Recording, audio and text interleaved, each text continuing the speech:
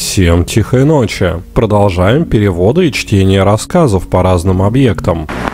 SCP-993, клоун Помпон, объект SCP-993, класс объекта безопасный, особые условия содержания. Все передачи SCP-993 должны перехватываться согласно инструкциям, изложенным в протоколе Epsilon Beta 3 и не допускаться к общественному просмотру. Все перехваченные передачи должны записываться и храниться для просмотра. Всем испытуемым, используемым для просмотра SCP-993, должно быть меньше 10 лет. После того, как они опишут эпизод, им следует дать амнезию железяки класса А. Для просмотра SCP-993 необходимо разрешение трех сотрудников с четвертым уровнем допуска. Описание. SCP-993 это детская телевизионная программа под названием «Клон Помпон». Похоже, объект создан в стиле образовательного мультфильма. Основным сюжетом большинства эпизодов является изучение главным героем, клоуном Помпоном, новых умений и видов деятельности. Судя по всему, в программе нет актеров второго плана, а место действия меняется от эпизода к эпизоду. Аномальные свойства SCP-993 проявляются появляются при просмотре передачи. Когда программа начинается, все зрители старше 10 лет моментально теряют сознание и остаются в таком состоянии до конца передачи, после чего они сообщают о сильной головной боли, возникшей за мгновение до потери сознания. Посмотревшие передачи дети до 10 лет сообщают о том, что она учит и пропагандирует такие виды деятельности, как каннибализм, убийство, пытки. Данные удалены. Судя по всему, данные виды деятельности прочно укрепились в разуме испытуемых. Повторное воздействие SCP-993 993 может привести к необратимым психическим расстройствам и шизофрении. Эпизоды SCP-993 регулярно передаются из неизвестного на данный момент источника. НОСА 2000. Все передачи успешно перехватывались благодаря протоколу Epsilon Beta 3 и не были допущены к общественному просмотру. Название эпизода «Кухонный сюрприз». Содержание. Действие эпизода происходит в стереотипном маленьком американском городке. В данном эпизоде клон Помпон похищает одного из местных жителей и ведет его к себе домой. Оказавшись в доме, Помпон рассказывает зрителям о том, как приготовить человеческую плоть. Затем он свежует, потрошит и готовит жителя. Название «Помпон в большом городе». Действие эпизода происходит в большом американском городе, возможно, Нью-Йорке. В данном эпизоде клон Помпон рассказывает зрителям о способах незаметного поджога с использованием таких таких предметов, как противомоскитная спираль. В конце эпизода Помпон поджигает большое здание и уходит. Все три минуты, оставшиеся до конца эпизода, показывается горящее здание. Все это время слышны крики. Название «Незаметная суббота Помпона». Действие эпизода, судя по всему, происходит в Лондоне, поскольку видна башня Елизаветы, Биг Бен. Большая часть данного эпизода клон Помпон незаметно преследует женщину. Когда она достигает своего дома, Помпон нападает на нее и убивает большим мясницким ножом. В конце эпизода клон Помпон подробно подробно описывает способы остаться незаметным в людных местах. Название эпизода Помпон докапывается до истины. Действие эпизода происходит в лагере для военнопленных. В данном эпизоде клон Помпон пытает взятого в плен солдата, постоянно задавая ему при этом бессмысленные вопросы. Похоже, что в итоге солдат умирает от полученных ран. После этого Помпон подробно рассказывает зрителям о том, как нанести болезненные, но не смертельные ранения. Название эпизода Помпон ненавидит вас. Действие эпизода происходит, по всей видимости, в пустой комнате. Клон Помпон сидит на стуле и зло злобно смотрит на зрителей в течение всех 30 минут эпизода. Название. Ругательство вас. Ругательство вас. Ругательство вас. По всей видимости, действие данного эпизода происходит в зоне где находятся архивные записи SCP-993. В данном эпизоде клон Помпон со злостью рассказывает о способах нарушения условий содержания для нескольких SCP-объектов. Затем Помпон описывает способы убийства исследователей, которые занимаются процедурами содержания данных объектов, показывая при этом знание их распорядка, дня и привычек. Стоит отметить, что в данном эпизоде присутствовала мультипликационная версия доктора который прошел мимо помпона в середине эпизода. Часы на стене показывали доктор подтвердил, что в это время он проходил мимо архива с записями SCP-993. Помпон Фест 2018. Объект. SCP-993. Класс объекта. Безопасный. Изменено. Неподтвержденный. Так, сказал Родж, вбивая кирку в спину трупа. Какой твой любимый эпизод? Должно быть 78-й, ответила Линдсей, закатив глаза в порыве ностальгии. Я смотрела эту серию каждое утро перед школой. Охотничий домик Помпона. Хороший выбор. Помпон Фест 2018 было сложно организовать. Большая часть фандома сидела в тюрьме или была еще в каком-нибудь нездоровом нездоровом положении, но наконец удалось забить хорошее место встречи и пригласить множество гостей. Была и проблема. Родж осознал ее, когда вынимал кирку из трупа. Местным было не особо-то дело до этого помпона. А еще, из того, что Родж заметил, не было конца злопыхателям, хейтерам. Кругом несчетное число настоящих организаций, желающих его закрыть, а то и вообще убить. «Ну», — сказал он через минуту, засовывая кирку в рюкзак, «я думаю, помощник шерифа Долоб тут прав. У нас все получится без дальнейших сложностей». Он начал прогуливаться обратно вдоль деревенской церкви, которую посетители покрыли самодельными баннерами символикой Помпон Фест 2018 и прочими украшениями. Было совершенно несправедливо, что этот коп потребовал их убрать. Вся эта деревня была отстойным местом для проведения событий. Если бы они не устроились в церкви, то где еще-то? Помощник шерифа Доллоп, засмеялась Линздей, догоняя его. Эпизод 9004, да? Верно замечено, ухмыльнулся Родж, покачав пальцем.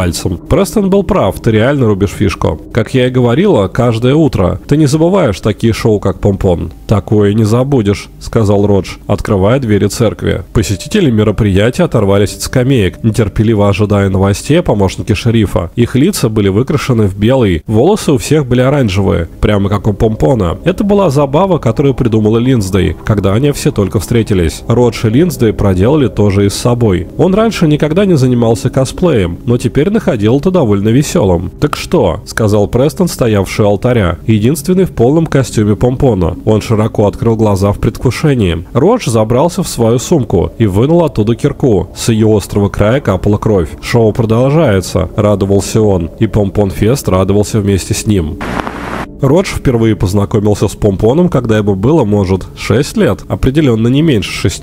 Он сидел на кухне, ел из миски хлопья. Как вдруг он услышал громкий звук из жилой комнаты. Он побежал, чтобы посмотреть, что там такое, и увидел, как его мать лежит без сознания. Все выглядело так, как будто она просто отключилась в то время, как гладила вещи. Взволнованный Родж побежал к телефону, чтобы набрать 911. Как вдруг? «Эй, дети, угадайте, кто?» Родж посмотрел наверх и увидел лицо в телевизоре. Забавно нарисованный клоун с бледной кожей и оранжевыми волосами. В его глазах была доброта. Сразу было понятно, что этот человек хочет тебе только хорошего. Может, э, может пока не стоит звонить в 911. Она просто упала в обморок, а Родж был крайне заинтересован новым шоу. Он не припоминал, чтобы когда-то вообще такое видел. Родж подошел и сел на кресло, смотря в телевизор с восторженным вниманием. Клоун на экране ухмылялся, как будто смотрел прямо в его, Роджа, комнату. Все верно, это ваш старый приятель Помпон. Клоун. Это это не было похоже ни на что, что Родж видел прежде. Иногда он вставал с кровати и прокрадывался сюда, чтобы увидеть короткие отрывки жестоких фильмов. Кровь, кишки, крики и мольбы. Он даже и не думал, как это весело. Помпон все показывал именно так. И что Родж уже тогда мог сказать, без клоуна это шоу бы не работало. 30 минут пролетели незаметно, и под конец Родж хотел только, чтобы его новый друг оставался с ним. Помпон, похоже, разделял с ним это чувство, картинно закрывая руками глаза и рыдая. «Ох-охо! Ух-уху! Увы, дети, это все на сегодня. Пожалуйста, прошу, если в ваших сердцах еще что-то осталось. Внезапно он убрал руки, и те добрые, как острие ножа, серые глаза вернулись. Он ухмыльнулся Роджо. До следующего раза. Хонг-хонг. Телеэкран снова переключился на статические помехи, а затем на экране появились утренние новости. Его мать зашевелилась на полу, медленно вставая. «Родж», — пробормотала она, — «что случилось?» Родж не ответил. Он был слишком взволнован. На его лице застыла ухмылка. Точно как у клоуна. Его новый друг появится в телевизоре на следующий день. Он никогда не был настолько счастлив в своей жизни. «Я начал смотреть «Клоунов 9», — сказал Престон в прикрепленный к алтарю микрофон. Присутствующие благоговейно слушали, сидя на скамейках. У моих родителей происходил развод в то время, и у меня, честно говоря, было сложное времечко. Помпон дал мне смысл дожидаться каждого следующего утра, и этот фандом, мне честно кажется, что он спас мою жизнь. Я люблю вас всех, ребята. По скамьям прокатилась волна вежливых аплодисментов. Линзда, стоявшая за Престоном, ободряюще положила руку на плечо. «Мы, помпоноголовые, должны держаться вместе», — сказала она с теплой улыбкой. Эпизод 399. Престон узнал отсылку, и слезы полились по его щекам. Да, эпизод 399. Особые условия содержания. Так как SCP-993 больше не находится на содержании, все усилия должны быть сосредоточены на отслеживании и прекращении передачи SCP-993. Замеченные передачи должны быть перехвачены через обновленную версию процедуры Epsilon Beta 3, осуществляемую MOC Tau 4 и Epsilon 9. Физический поиск источников передач возложен на мобильную оперативную группу Zeta 3 лесорубы. Это 10, не вижу зла, и Мю 9, ломатели игрушек. Группа людей, идентифицирующая себя как Помпон Фест. Или индивиды старшего возраста 10 лет, кто имеет иммунитет к эффектам SCP-993, должны восприниматься как противники, и к ним применена сила. Амнезиаки класса С применяются ко всем подозреваемым во влиянии эффекта SCP-993. Все задействованные группы МОК будут обеспечены очками шифратор с целью предотвратить визуальный контакт с SCP-993 и потерю сознания. Меры безопасности на всех упомянутых в передачах SCP-993 объектах должны быть значительно усилены.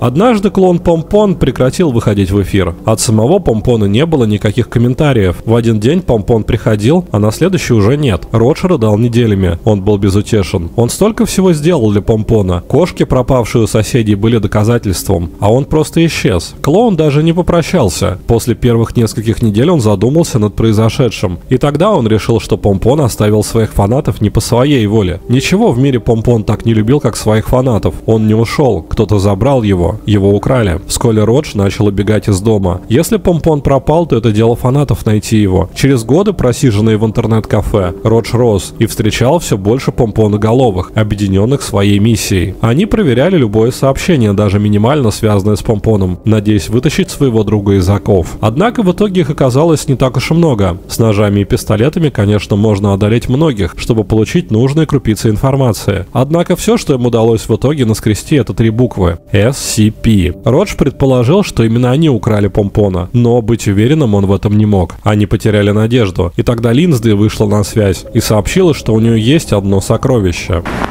«Мы все ждем Линдсей», — усмехнулся Рож, пытаясь выглядеть обыденно, хотя в его животе стоял ком. «Что, если это не сработает? Что, если Линдсей ошибается?» «Будь терпелив, Родж», — ухмыльнулась Линдсей. Родж же почти видел, как нетерпение проступает у нее на коже, как капельки пота или гусиная кожа. Они оба обернулись, когда услышали открытие двери. Престон и другие помпоноголовые вкатывали старый телевизор и проигрыватель из комнаты отдыха. Посетители поспешили собраться вместе. Линдсей подошла к ним. Все держимся вместе», — усмехнулась Линдсей и забралась в свой рюкзак. «Ничего никуда не убежит». Она достала кассету. На ней маркером было написано «Пом Клоун, 21 эпизод». «Кассета!» — собрание закричало как один. Настолько пронзительно, что это было похоже на визг. «Кассета! Кассета!» С разрешения Вестхэт Ньюс. «Славьте Помпона! Славьте дерево!» Засмеялась Линдсей, помещая кассету в плеер. Родж не знал, что за дерево, но с этого момента ему стало действительно интересно. Его любимое шоу готовится вернуться вернуться. Экран включился. Несколько ужасных секунд на экране был мультфильм про слона. Родж даже подумал, что это конец, но вдруг все поменялось. На экране была пустая комната, белая и стерильная. В ней был только стул в центре. Тюремная камера. На стуле сидел человек, и все его узнали. Они все его знали. Как бы кто-то из них мог бы забыть это лицо? Камера начала приближаться, и вскоре лицо клоуна Помпона заполнило экран. Его лицо нахмурилось. Его добрые серые глаза смотрели туда-сюда, общаясь со всеми в церкви. Его хмурое лицо вдруг стало ухмылкой, а затем широкой улыбкой. Он засмеялся таким веселым смехом, что затряслись ставни на окнах, после чего он вскочил со стула и начал целовать камеру. «Эй, дети!» — сказал он. «Догадайтесь, кто?»